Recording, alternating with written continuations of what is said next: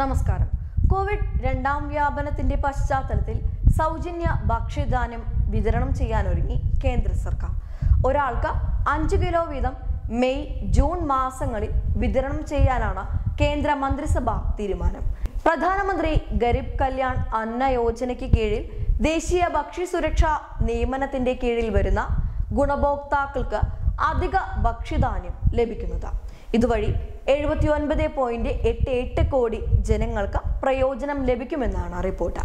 അരിക്ക് മെട്രിക് ടണ്ണിന് മുപ്പത്തി ആറായിരത്തി എഴുന്നൂറ്റി എൺപത്തി ഒൻപത് പോയിന്റ് രണ്ട് രൂപയും ഗോതമ്പിന് മെട്രിക് ടണ്ണിന് ഇരുപത്തി അയ്യായിരത്തി എഴുന്നൂറ്റി മുപ്പത്തി ഒന്ന് പോയിന്റ് നാല് ഒന്ന് രൂപയും ചിലവ് വരുന്ന പദ്ധതിയിൽ ഇരുപത്തി അയ്യായിരത്തി എഴുന്നൂറ്റി മുപ്പത്തി ഒന്ന് പോയിന്റ് നാല് രൂപയും ചിലവ് വരുന്ന പദ്ധതിക്ക് ഇരുപത്തി അയ്യായിരത്തി മുന്നൂറ്റി മുപ്പത്തിരണ്ട് പോയിന്റ് ഒൻപത് രണ്ട് കോടി രൂപയുടെ സബ്സിഡിയാണ് അനുവദിക്കുന്നത്.